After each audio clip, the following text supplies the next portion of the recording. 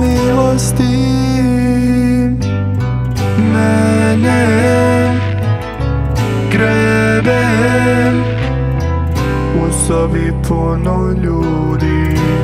Ja sam sa svim